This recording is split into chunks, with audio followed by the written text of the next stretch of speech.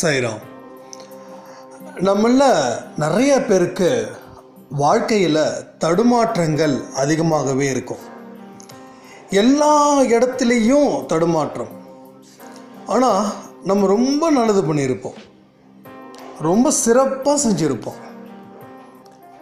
ஆனாலும் ஒரு பெரிய பெரிய தோல்விகள் நம்மளை போட்டு பயங்கரமாக துரத்தும். நல்லா யோசித்தோம் அப்படின்னா எங்கேயும் தப்பு நடந்திருக்க சான்ஸே இல்லை. ஆனாலும் தொடர் தோல்விகள் தொடர் ஏமாற்றங்கள் இதன் மூலமாக வாழ்க்கையில் ஏற்படக்கூடிய பின்னடைவு சில இடத்துல நம்ம ஜெயிச்சே ஆகணும் அப்படின்னு சொல்லக்கூடிய நிர்பந்தம் இது எல்லாம் ஒன்றா சேரும்போது மனசில் ஆயிரத்தெட்டு குழப்பம். இந்த குழப்பத்தில் என்ன பண்ணுறது எந்த திசையில் ட்ராவல் பண்ணுறது அப்படின்னு தெரியாமல் ரொம்ப நொந்து போயிருப்போம். அந்த நேரத்தில் நமக்கு அப்பா மேலே வச்சுருக்கிற நம்பிக்கை லைட்டாக குறையும். ஒரு விரக்தி நம்ம வாழ்க்கையில் வர ஆரம்பிக்கும். இந்த மாதிரியான விஷயங்கள் வரும்போது நம்ம எவ்வளோ முன்னெச்சரிக்கையாக இருக்கணும் அப்படின்றது தான் இந்த ஆடியோ எல்லா மனுஷங்களுக்கும் தலைவலி சளி காய்ச்சல் இது மாதிரியான ஒரு நேச்சுரலான டிசீஸ் வரும். வராமல் இருக்காது. அட்லீஸ்ட் கிளைமேட் சேஞ்ச் அப்படின்ற இடத்துலையாவது வரும். நம்ம நாட்டில் ஆறு மாதத்துக்கு ஒரு தடவை கிளைமேட் சேஞ்ச் ஆகுது. ஸோ வருஷத்தில் சேஞ்சஸ் இருக்குது ஒன்று டூ டைம்ஸ் அந்த நேரத்தில் வைரல் ஃபீவர் கோல்டு காஃப் இதில் வந்து நம்ம அஃபெக்ட் ஆகிருப்போம் இருப்போம். அந்த நேரத்தில் நம்ம என்ன பண்ணுறோம் கவனமாக இருக்கோம். எந்த அளவுக்கு கவனமாக இருப்போம் அப்படின்னா மறுபடியும் அந்த டிசீஸ் கண்டினியூ ஆகக்கூடாது அப்படின்ற மாதிரி நம்மளுடைய ஆக்டிவிட்டீஸ் எல்லாத்தையும் சேஞ்ச் பண்ணுவோம். நல்ல ஹீட் வாட்டரில் குளிப்போம். சளி பிடிக்கிற மாதிரி எந்த ஒரு விஷயத்தையும் சாப்பிட மாட்டோம். தயிர் மோர் குளிர்ச்சியான பொருள்கள் சளி பிடிக்கக்கூடிய உணவு முறை இது எல்லாத்தையும் அவாய்ட் பண்ணுவோம். அதுக்கு பதிலாக என்னென்னலாம் புதுசாக சாப்பிடுவோமோ அது எல்லாத்தையும் சாப்பிடுவோம். ஏன்னா சளி வந்து ரெடியூஸ் ஆகணும். கஷாயம் போட்டு குடிப்போம். லேகியம் சாப்பிடுவோம். தூதுவேளை லேகியம்லாம் சொல்கிறாங்க இல்லையா? அது மாதிரிலாம் சாப்பிடுவோம். இதெல்லாம் எதுக்கு? உடம்புக்கு சளி பிடிச்சிருக்கு காய்ச்சல் வந்திருக்கு. அதை வந்து ரெக்கவரி பண்ணணும் அப்படின்ற ஒரு விஷயத்தில். அப்போ இந்த இடத்துல என்ன ஒரு விஷயம் வருதுன்னா கவனமாக இருக்கிறோம். வந்த நோயை தக்க வச்சுக்கிறது இல்லை. வந்த நோயை சீக்கிரமாக விரட்டணும். ஏன் விரட்டணும்? நோயோடு வாழ முடியாது. நோய் இருந்தால் வேலைக்கு போக முடியாது. நோய் இருந்தால் நம்ம கடமைகளை சரியாக செய்ய முடியாது. ஏன் நோய் இருந்துச்சுன்னா நிம்மதியாக வாழவே முடியாது. அப்போது இது மாதிரியான ஒரு விஷயத்தால் நம்ம அந்த நோயை சீக்கிரமாக அடித்து விரட்டுறோம். அப்போ வந்து எல்லாத்துலேயும் ஒரு கவனத்தை செலுத்துகிறோம் அதே மாதிரி தான் நம்ம வாழ்க்கையில் ஏற்படக்கூடிய பிரச்சனைகளுக்கு ஒரு சிறப்பு கவனம் அப்படின்னு ஒன்று தேவைப்படுது. அந்த கவனம் என்ன செய்யணும்னா உங்களுடைய பலத்தையும் நம்பிக்கையும் பொறுமையையும் சகிப்புத்தன்மையும் இன்னும் அதிகப்படுத்தணும். மனுஷங்க கிட்ட இருந்து தொடர் தோல்விகள் வரும்போது அவங்க நம்மளை வந்து மட்டம் தட்டும் போதோ இல்லை நம்மளை வந்து கேவலமாக சில வார்த்தைகள் பேசும்போதோ சகிப்புத்தன்மையை கடைப்பிடிக்கணும். அந்த சகிப்புத்தன்மையை கடைப்பிடிக்கிறதுல தான் உங்களோட வாழ்க்கையோட வெற்றியே அடங்கி இருக்குது அந்த வெற்றி இமாலய வெற்றியை கொடுக்கும். ஒன்று ரெண்டு சாதாரண வெற்றி இல்லை. அடிக்கிற வெற்றி மிகப்பெரிய ஃபவுண்டேஷன் எப்படி ஒரு பில்டிங்குக்கு அஸ்திவார கல் ஸ்ட்ராங்காக நிற்குதோ அது மாதிரி ஒரு பிரம்மாண்டமான வெற்றியை கொடுக்கறது தான் அந்த சகிப்புத்தன்மை. ஆனால் நம்ம வந்து அந்த மாதிரி இடத்துல நம்ம என்ன செய்கிறோம் ஒன்று மனசு உடஞ்சி போயிடுறோம். இல்லைன்னா வாழ்க்கையை வெறுத்து போயிடுறோம். இந்த ரெண்டும் செய்கிறதால என்ன பெனிஃபிட்ஸ் ஏதாவது ஒரு இடத்துலையாவது அதற்கு உண்டான பெனிஃபிட்ஸ் இருக்குது அப்படின்னு நீங்கள் நம்புறீங்களா? அப்போது அந்த சகிப்புத்தன்மையை நம்ம கடைப்பிடிக்காமல் நமக்கு கவலைகளும் துக்கங்களும் அதிகமாக தேக்கி வச்சிருக்கிறதால ஒரு பயனும் இல்லை. இதெல்லாம் சேர்த்து வைக்கிறதால நம்ம வாழ்க்கையில் ஜெயிக்க முடியுமா? இல்லை. அடுத்த கட்ட வேலை பார்க்க முடியுமா? இல்லை. சொந்த பந்தங்கள் நம்மளை ஒதுக்கி வச்சதை மறுபடியும் சேர்த்துப்பாங்களா? இல்லை. அப்போ என்ன தான் செய்யணும்? அந்த இடத்துல தான் எழுந்திருச்சு நிற்கணும் எங்கே விட்டமோ அந்த இடத்த அப்போது ஒரு விஷயத்தில் இதெல்லாம் செய்யும்போது எதுவுமே நமக்கு நல்லது நடக்கலை. எதுவும் நம்ம நினச்சது நடக்கலை அப்படின்னும் போது எதுக்காக அதன் நொந்துக்கிட்டு உட்காந்துட்டு இருக்கணும் அப்போ ஒரு ஒரு மனுஷனுக்கு உடம்பு சரியில்லாதப்போ காய்ச்சல் தலைவலியெல்லாம் வரும்போது கவனமாக கையாளுற மாதிரி தானே? மனசில் சில இடத்துல சோர்வுகள் வரும்போது நம்ம கவனமாக செயல்படணும் அப்படின்ற ஒரு புத்தி நமக்கு மனசுக்கு சொல்லுது. மனசு அதை கேட்கலையா இல்லை புத்தி சொல்லலையா அப்படின்றத உங்ககிட்ட விட்டுடுறேன். நம்மளுடைய ஆழ்ந்த அனுபவங்கள் இந்த பிறவியில் மட்டும் உங்களுக்கு வரலை. பல பிறவிகளை நீங்கள் குழந்தையாக இருந்து கிழவன் கிழவி ஆனவங்க தான். அந்தந்த ஏஜில் இருக்கக்கூடிய பக்குவம் கண்டிப்பாக அடைஞ்சிருப்பீங்க. அடையாமலாம் இங்கே எதுவும் நடக்கலை. ஒரு ஒரு ரிலேஷன்ஷிப்பும் பல இடத்துல இருக்கக்கூடிய ஜென்மத்தினுடைய தொடர்கதை தான்றாங்க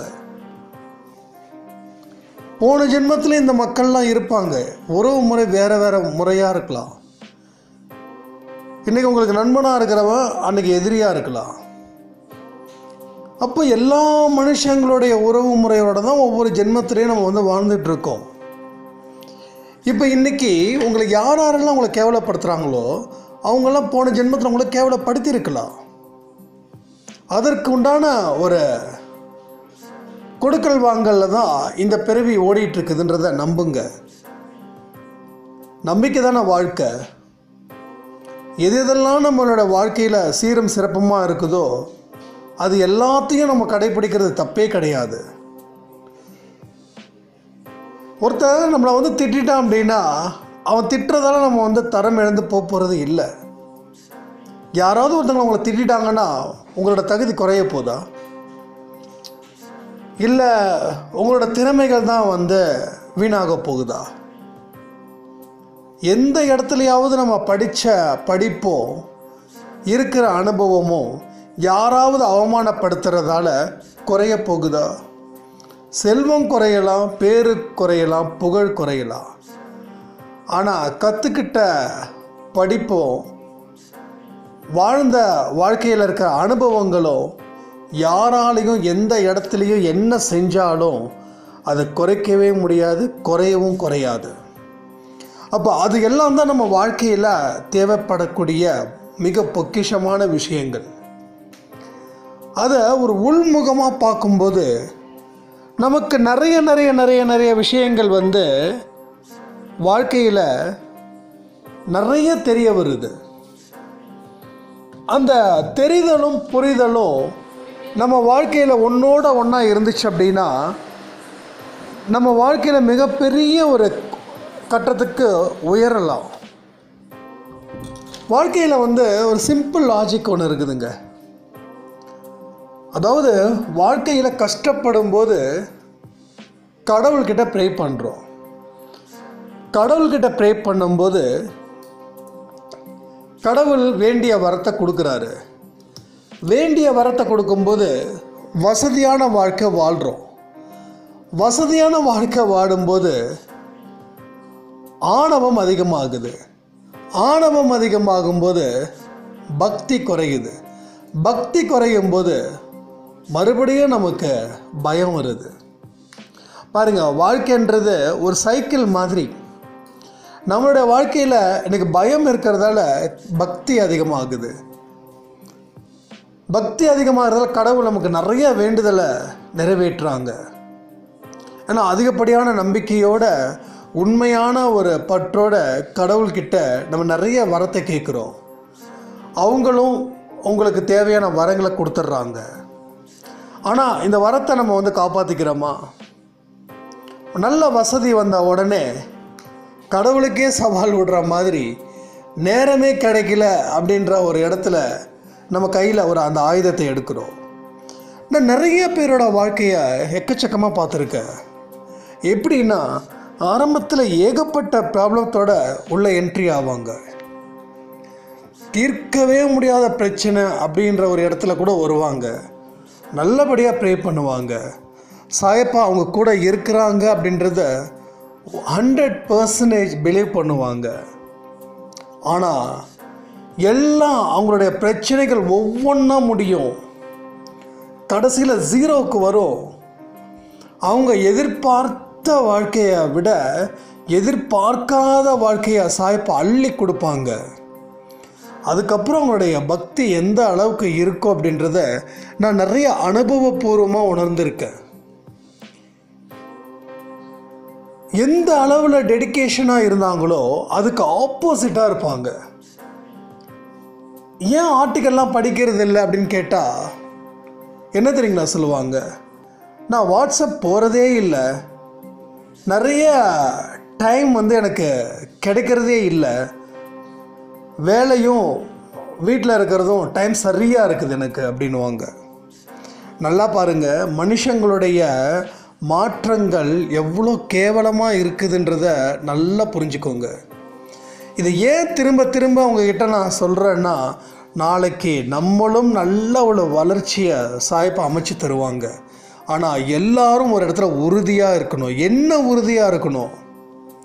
எப்பேற்பட்ட இடத்துல நான் இருந்தாலும் எப்பேற்பட்ட சொகுசான வாழ்க்கையை வாழ்ந்தாலும் என்ன பதவியில் இருந்தாலும் எந்த நாட்டில் இருந்தாலும் இல்லை எந்த நாட்டுக்கே நான் ராஜாவாக இருந்தாலும் உங்களை மறக்காத ஒரு வரம் வேணும் அப்படின்னும் அந்த ஒரு பாயிண்ட்டையும் உங்களுடைய ரெகுலரான வேண்டுதல்களை அதுலேயும் நீங்கள் ஆட் பண்ணிக்கோங்க.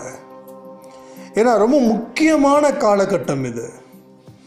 எதுக்காக நான் சொல்கிறேன்னா இன்றைக்கி எல்லாருமே பாதி ஸ்டேஜை கடந்துட்டோம். இனி மீதி பாதி ஸ்டேஜை சில சில விஷயங்கள் மட்டும்தான் நம்ம லிஃப்ட் பண்ணால் போதும். அந்த லிஃப்ட்டும் ஆட்டோமேட்டிக்காக நடக்கும். நடந்ததுக்கப்புறம் நமக்கு மறுபடியும் இதெல்லாம் பேசுகிறதுக்கோ கேட்குறதுக்கோ டைம் இல்லை அப்படின்னு நினச்சிடக்கூடாது. ஏன்னா எந்த வேகத்தில் போகிறீங்களோ அதே வேகத்தில் இறங்கவும் வாய்ப்புகள் இருக்குது ஆனால் நம்ம ஒரு வேகத்தில் போனோம்னா அதே வேகத்தில் தொடர்ந்து போய்கிட்டே இருக்கணும். கீழே இறங்கணும் அப்படின்றது இருக்கக்கூடாது. எப்போ நம்ம இறங்குவோம்? என்னைக்கு நமக்கு எல்லா இடத்துலையும் உதவியாக சாயப்பாக இருந்து நம்ம வாழ்க்கையை மேலே மேலே கொண்டு போனாங்களோ அன்னைக்கு அவரை நம்ம மறந்தோம் அப்படின்னா அன்னைக்கு பிடிச்சிருக்கிற கருமா மாயை இது எல்லாமே உங்களை தர தர தர தர தர கீழே எடுத்துகிட்டு வந்துடும் மறுபடியும் நீங்கள் லிஃப்ட்டில் ஏறணும் அப்படின்னா இந்த ஜென்மத்துக்கு உண்டான அந்த ஏஜும் முடிஞ்சிடும் தைரியமும் போயிடும் நம்பிக்கையும் போயிடும். முதல்ல உங்களை நீங்களே மதிக்கவே மாட்டீங்க. இன்றைக்கி நிறைய பேரோட வாழ்க்கையில் தன்னை மதிக்காத அளவில் இருப்பாங்க. ஏன் அப்படின்னா அவங்களுக்கே அவங்கள மதிக்கணும் அப்படின்ற ஒரு ஆர்வம் இல்லை. ஏன்னா அத்தனை ஆட்டம் அவங்களே போட்டிருப்பாங்க. பரிதாபத்தில் யாரும் மதிக்காமல் இல்லை. ஆனால் பரிதாபப்படுற ஒரு ஒரு வாழ்க்கையில் கடவுள் துணை நின்று நினைய துணை இருந்திருப்பாங்க. நல்லா வாழ்ந்திருப்பாங்க. மறுபடியும் ஆட்டம் போட்டிருப்பாங்க. அதுக்கப்புறம் மறுபடியும் கீழே இறங்கும்போது அவங்களுக்கு மனசாட்சி தடுக்குது கடவுள்கிட்ட போகிறதுக்கு அதனால் அவங்களுக்கு அவங்களையே வந்து ஒரு மதிப்பே இல்லாத அளவில் அவங்க மனசே வந்து தடை பண்ணுது. வாழ்க்கைன்றது இன்னும் எக்கச்சக்கமாக இருக்குது. இது மட்டும் இல்லை. இன்னைக்கு ஜெயிக்கிறதோ இன்னைக்கு தோக்குறதோ விஷயமே இல்லை. நம்ம சூழ்ந்திருக்கிற எல்லாத்தையும் தாண்டி ஜெயிக்கிறது தான். ஆனால் எல்லாமே ஈஸியாகவே இருக்குமே தவிர எந்த ஒரு இடத்துலையும் நீங்கள் கஷ்டப்பட்டு போராடணும் அப்படின்றதெல்லாம் இல்லை. ஒரு வழியாக போகும்போது நிறைய தொல்லைகள் வரும். அதை தாங்குகிற மன சக்தி இருந்தால் போதும். மன வலிமை இருந்ததுன்னா போதும். அந்த மன வலிமை மட்டும்தான் இங்கே வேறு எதுவுமே இல்லை. நீங்கள் வந்து நூறு கிலோ கொண்டு வரணும் ஒரு லாரியை தூக்கணும் காரை தூக்கணும் ஒரு பத்து பேரை அடிக்கணுன்றதா? அது இல்லை வாழ்க்கை. எதையும் தாங்குகிற சக்தி எல்லாத்தையும் பார்க்குற நல்ல விதமான கண்ணோட்டம். ஒரு உன்னதமான புன்னகை நல்ல ஒரு வாழ்க்கை. எந்த சூழ்நிலையிலும் சாயப்பாவை நம்ம என்னைக்கும் மறக்கவே கூடாத குணம். சில பேர்லாம் பார்த்தீங்கன்னா எவ்வளோ கஷ்டங்கள் வந்தாலும் அவங்களோட ஃபேஸ் பார்க்கும்போது அவ்வளோ ஒரு தேஜஸ் கிடைக்கும். எப்படி அந்த தேஜஸ் கிடைக்குது? அவங்களுடைய கடவுளுடைய அனுகிரகங்கள் எவ்வளோ பெரிய வழிகளாக இருந்தாலும் சரி அவங்கள பார்க்கும்போது நிறைய பேரை பார்த்துக்கிட்டே இருக்கணும் போலலாம் தோணும். ஏன்னா அவங்க ஃபேஸில் இருக்கிற அத்தனை தேஜஸ் அவங்க மனசில் கடவுள் உட்காந்து பேசுவாங்க. அவங்களுக்கே தெரியாது. சில பேர்லாம் பார்த்தீங்கன்னா அவங்க ஃபேஸ் பார்க்கும்போதே கையெடுத்து கும்பிட்ற அளவில் இருப்பாங்க. அவங்களெல்லாம் தயவு செய்து மிஸ் பண்ணாதீங்க. அவங்கள நோகடிக்காதீங்க. இன்றைக்கி வாழ்க்கையில் ஃபேமிலியில் இருக்கிறவங்களே கூட எவ்வளவோ தன்னை காட்டிப்பாங்க. சிறந்த பக்திமான் அப்படி இப்படின்னு. ஆனால் வீட்டுக்குள்ளே இருக்கிறவங்கள துளி கூட மதிக்க மாட்டாங்க. கடவுள் எங்கெங்கெல்லாம் இருப்பாங்க அப்படின்றது தெரியாமலே செய்வாங்க. சில பேரை திருத்தவே முடியாது. ஏன்னா அவங்களுடைய கர்மாக்கள் அவங்களுக்கு சில விஷயங்களை புரிய வச்சாதான் அவங்க அந்த தவறுகளை செய்ய மாட்டாங்க. ஆனால் அந்த கர்மாக்கள் புரிய வைக்காது. ஏன்னா அவங்க வாங்கின கர்மாக்கள் அப்படி. நம்ம வாங்கியிருக்கிற கர்மாக்கள் இப்படி. அவங்களுக்கும் பல நாட்கள் ஆகும். நம்மளையும் சில பேர் வந்து திருத்த முயற்சி பண்ணியிருந்திருப்பாங்க. அந்த நேரத்தில் நமக்கு புத்தி வேலை செய்யாமல் இருந்திருக்கும். ஆனால் இப்போ புத்தி வேலை செய்யும். ஏன்னா நம்மளுடைய தேடுதல் அப்படின்றது வேறு மாதிரியான தேடுதல்களாக மாறிக்கிட்டு இருக்கிறதால. அப்போது உங்களோட ஒவ்வொரு தேடுதல்களும் நான் சந்தோஷமாக இருக்கணும் நிம்மதியாக இருக்கணும் வாழ்க்கையில் வெற்றி பெறணும் அப்படின்றது ஒரு பட்சத்தில் வச்சா கூட இன்னொரு இடத்துல என்னதான் நான் தேடுதல் தேடினாலும் கிடைக்கலனாலும் நான் சந்தோஷமாக இருக்கணும். இந்த பொருள் இந்த வெற்றி எனக்கு கிடைக்கலனாலும் நான் நிம்மதியாக இருக்கணும். எல்லாமே கிடைச்ச ஒரு திருப்தி எதுவுமே கிடைக்கலனாலும் எனக்கு இருக்கணும். இந்த மாதிரியான வேண்டுதல்களை நீங்கள் சாயப்பா கிட்ட வைங்க. நீங்கள் ரொம்ப நல்லா இருப்பீங்க. ரொம்ப எக்ஸலண்ட்டாக இருப்பீங்க. கடினமான ப்ரேயர்ஸ் தேவையே இல்லை. கடினமான பாதையில் நடந்தாலும் நான் சோர்வடையாமல் இருக்கணும். நான் எப்பேற்பட்ட நல்லவனாக இருந்தாலும் யாராவது என் வாழ்க்கையில் ஒரு மோசமான விளைவுகளை ஏற்படுத்தினா கூட அவங்கள மன்னிக்கிற அளவில் நான் இருக்கணும். எவ்வளோ ஒரு உன்னதமான வார்த்தைகள் பாருங்கள் இந்த வார்த்தைகளை எல்லாத்தையும் நீங்கள் சாயப்பா கிட்ட வச்சிங்கன்னா அவர் உங்கள் வாழ்க்கையில் அடுத்த கட்டத்துக்கு உயர்த்தவா மாட்டார். ஒரு நல்ல மனுஷனை நல்ல இடத்துல வச்சு பார்க்கணுன்ற ஆசை நமக்கு இருக்குது நம்மளை படித்த கடவுளுக்கு இருக்காதா? சொல்லுங்கள் ஆனால் நம்ம என்ன பண்ணுறோம் நம்ம நல்லவன் நினச்சிக்கிறோம். ஆனால் ஆயிரத்தெட்டு தப்புகளை நம்ம செய்வோம். ஆனால் நம்ம நல்லவன். எப்படி நல்லவன்? எதன் வழி நம்ம நல்லவன்? யாராவது உங்களை அடித்தாங்கன்னா அவங்கள திருப்பி அடிக்காமல் இருக்கீங்களா? யாராவது உனக்கு அறிவு இல்லை அப்படின்னு சொன்னால் மனசால் கூட அவங்களை சபிக்காமல் இருக்கீங்களா? அப்படிலாம் இருந்தால் தான் நீங்கள் நல்லவங்க. இல்லை உங்களுக்கு எதிர்பார்த்த ஒரு வெற்றியை யாராவது தட்டி பிடுங்கி அவங்க அதை வந்து அந்த வெற்றியை ஆக்கிக்கிட்டாங்கன்னா அந்த இடத்துல நீங்கள் எப்படி இருக்கீங்க? அப்போ உங்கள் எல்லாருடைய மனநிலையும் நீங்கள் பாருங்கள் இந்த மனநிலையில் நான் இருந்திருக்கேன் நான் இருப்பேன் அப்படின்னு நினைக்கிறவங்களுக்கு கடவுள் மிகப்பெரிய ஒரு பொக்கிஷத்தை கொடுக்க ரெடியாக இருப்பாங்க. ஆனால் இதை எல்லாம் அவ்வளோ சீக்கிரம் கொண்டு வர முடியாது. என்னால் கொண்டு வர முடிஞ்சிட்டேன் அப்படின்னு சொல்கிறத நம்பாதீங்க. கொண்டு வர முயற்சிக்கிற அப்படின்றத நம்புங்க. உங்களை நீங்களே வந்து நான் எல்லாத்துலேயும் பர்ஃபெக்ட் அப்படின்னு நீங்கள் சொல்லிட்டீங்கன்னா நீங்கள் உங்களை நீங்களே ஏமாற்றிக்கிறீங்கன்னு அர்த்தம். ஏன்னா இது வந்து பல பல பிறவிகளில் இப்படி தான் நம்ம எண்ணத்தோடு தான் வாழ்ந்திருக்கோம். அது இன்றைக்கி இருக்கிற கலியுகத்தில் அளவுக்கு அதிகமாகவே வாழ்ந்துட்டோம். இப்போ நான் வந்து திருந்திட்டேன். நான் வந்து அதை பண்ணிட்டேன் இதை பண்ணிட்டேன். இனி பர்ஃபெக்ட்லி ஆல்ரைட் அப்படின்னு நீங்கள் தட்டி கொடுக்கவே கூடாது. ஏன்னா அப்படிப்பட்ட சூழ்நிலை வந்தாலும் எந்த மனுஷனும் வெளியில் சொல்ல மாட்டாங்க.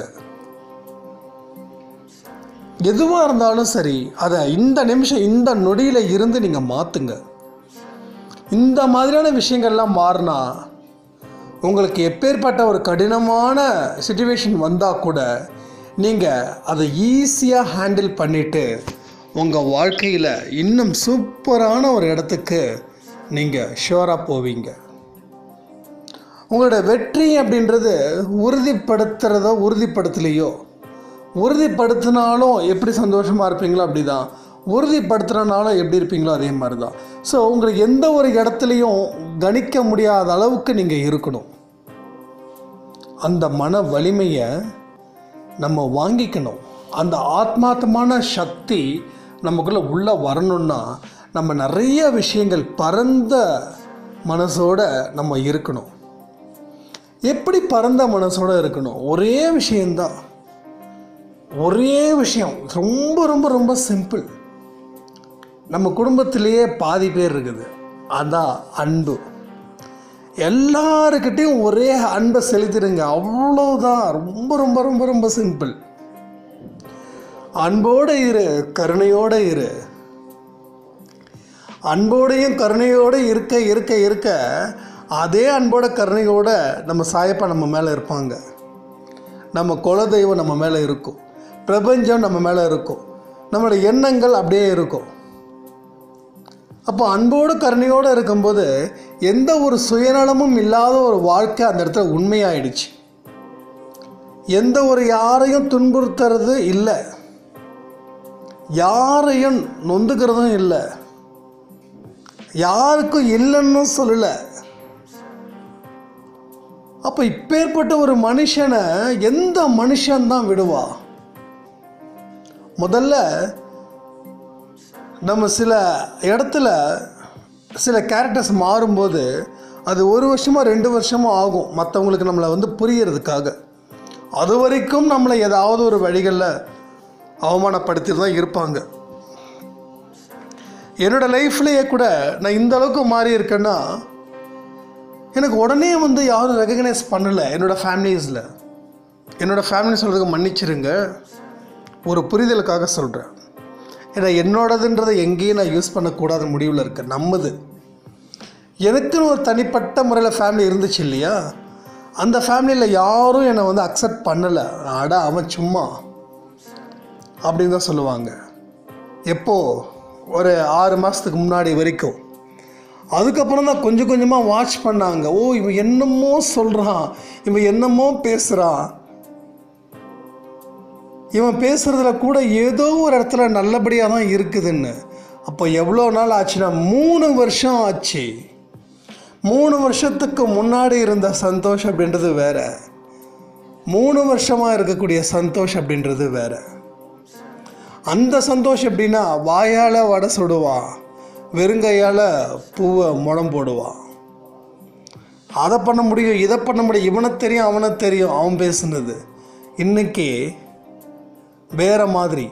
அந்த ஸ்பிரிச்சுவல் அப்படின்னும்போது பெரிய ஒரு வித்தியாசம் நான் வந்து ஃபீல் பண்ணுறேன் அப்போது நான் வந்து ஒரு விஷயத்த மாறிட்டேன் அப்படின்னா மற்றவங்களுக்கு ப்ரூஃப் பண்ணணும் அப்படின்றத நான் எதையும் பண்ணவே இல்லை. நீ சொல்கிறியா சொல்லிக்கோ. நீ என்னை திட்டுறியா? திட்டிக்கோ. புகழ்றியா? புகழ்ந்துக்கோ. அடிக்கிறியா? அடிச்சிக்கோ. அவ்வளோதான் நல்லா புரிஞ்சுக்கோங்க. அப்போது நமக்கு வந்து நான் சேஞ்ச் ஆகிட்டேன் நான் இனிமேல் அந்த கோவத்தை விடுவேன் இந்த கோவத்தை விடுவேன்னு சொல்லி நீங்கள் உங்கள் லைஃப் பார்ட்னர்கிட்டையும் உங்கள் ஃபேமிலியில் இருக்கிறவங்ககிட்டயும் உங்கள் நண்பர்கள்கிட்டயோ இல்லை உங்கள் ஒர்க் பண்ணுற இடத்துலையோ நீங்கள் சொல்ல வேண்டியதோ நிரூபிக்க வேண்டிய அவசியமும் கிடையாது. உங்களுடைய கேரக்டர்ஸில் நீங்களோட ஆக்டிவிட்டீஸில் ஆட்டோமேட்டிக்காக அவங்களுக்கே புரியும். புரிகிற மாதிரி நீங்கள் நடக்கணும். உண்மையாக நடக்கணும் மானசீகமாக நடக்கணும். எந்தெந்த இடத்துலலாம் நீங்கள் வந்து செய்யக்கூடாத ஒரு விஷயத்த செய்ய போகிறீங்களோ அதெல்லாம் உங்களுக்கு பாதிப்பை ஏற்படுத்தும்னு நினைக்கிறேன். இந்த விஷயத்த செய்யவே கூடாது. இதெல்லாம் செஞ்சால் மனுஷனுக்கு எதிரானது சாய்ப்பாக்கு எதிரானது. சாயப்பா இந்த விஷயத்திலலாம் செஞ்சாருன்னா எவ்வளோ கஷ்டப்படுவாங்க. அவர் தண்டிக்கிறாரோ இல்லை அவங்கள வந்து நிந்திக்கிறாரோ அது வேறு விஷயம்.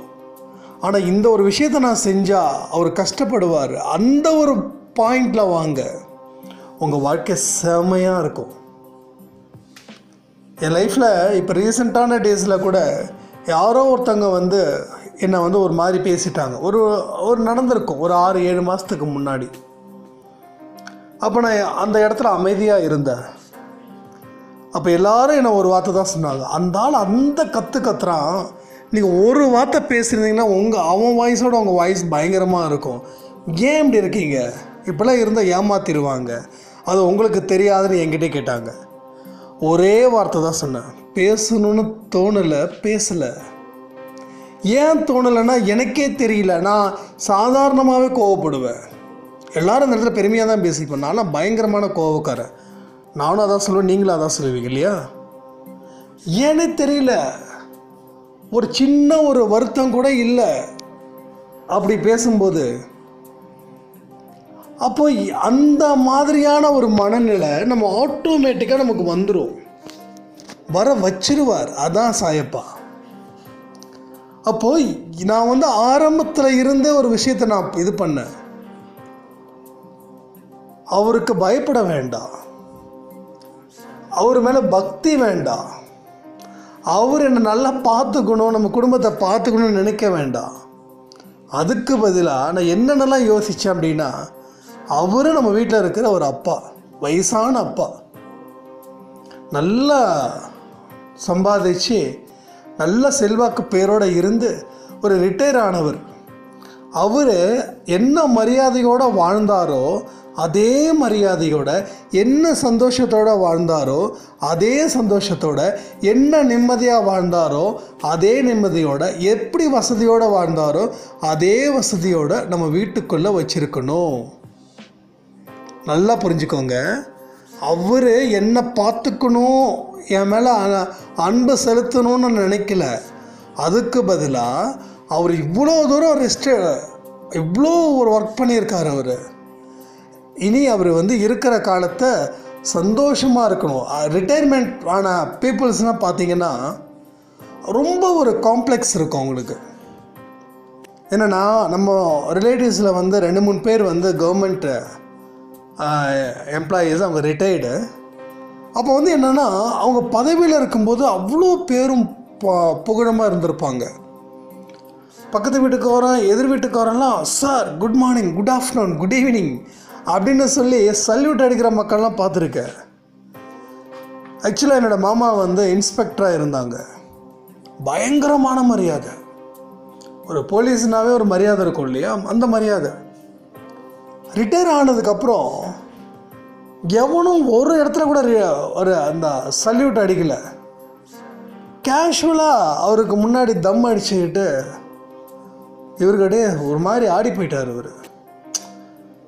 பதவியில் இருக்கும்போது எப்படி இருந்தோம்? பதவியில் இருக்கும்போது சிகரெட் அடித்து லுங்கியை மடித்து நான் வந்து அப்- இதெல்லாம் வந்து ஆதரிக்கிறேன்னு நினைக்க வேண்டாம். அந்த ரிட்டையர்ட் பர்சனுடைய அந்த எக்ஸ்பெக்டேஷன் பாருங்கள் நான் வந்து எந்த ஒரு மனுஷனையும் பயப்படணும்னு நினைக்கவே மாட்டேன். நான் யாருக்கும் பயந்தது கிடையாது. நம்மளும் யாரும் பயப்பட வேண்டிய அவசியமும் கிடையாது. நான் ஒரு அவங்களுடைய அந்த பர்சனுடைய அந்த சைக்காலஜிக்கலை நான் சொல்கிறேன் நான் அப்படிலாம் சொல்கிறதெல்லாம் நியாயப்படுத்த நினைக்க வேண்டாம். அவர் என்கிட்ட சொல்லி ஃபீல் பண்ணார். அதை வச்சு தான் சொல்கிறேன் அப்படிப்பட்ட ஒரு மனுஷன் டம் அடிச்சா கூட ஐயோ அவர் வராருரா சார் வராரு. அப்படின்னு சொல்லி லுங்கியை கீழே இறக்கி விட்டு அப்படியே சிகரெட்டை வந்து டக்குன்னு போட்டு மண்ணுக்குள்ளே போட்டு மிதிச்சு சார் எங்கே சார் நான் இவ்வளோ தூரம் நடந்து வரீங்க. ஒரு பத்தடியில் தான் இருக்கும் அவரோட வீடு. ஏ இங்கே தாண்டா இருக்குது வீடு. Oh oh, okay sir okay. எதோ நான் கூப்பிடுங்க சார். அப்படின்ற சொன்னக்கூடியவங்களாம் ரிட்டையர் ஆனதில் இருந்த எதை பற்றியும் கண்டுக்கவே இல்லை. அப்போது அவங்களோட ஆஃப்டர் அந்த ரிட்டையர்மெண்ட்டுக்கு அப்புறம் அவங்களுடைய ஏஜ் வந்து அவங்களுடைய ஒவ்வொரு இடமும் ரொம்ப நோட்டீஸ் பண்ணுவாங்க. ஃபேமிலியில் பொண்டாட்டி மதிக்கிறாங்களா? குழந்தைங்க மதிக்கிறாங்களா? ஃபஸ்ட்டு நாள் ரெண்டு நாள் மூணு நாள் அந்த ஒரு வாரத்திலேயே அவர் கெஸ் பண்ணுவாங்க. நம்ம எல்லாம் மதிப்போம். மதிக்காமலாம் இருக்க மாட்டோம். ஆனால் நம்ம மதித்தாலும் அவங்களுக்குள்ள வந்து ஒரு காம்ப்ளெக்ஸ் க்ரியேட் ஆகும். ஏன்னா வீட்டிலையே இருந்திருக்க மாட்டாங்க இவங்கெல்லாம். அப்போ வீட்டில் இருக்கிறாங்க இனிமேல் வீட்டில் தான் இருக்கணுமா? உயிர் போகிற வரைக்கும் இந்த வீடு தானா?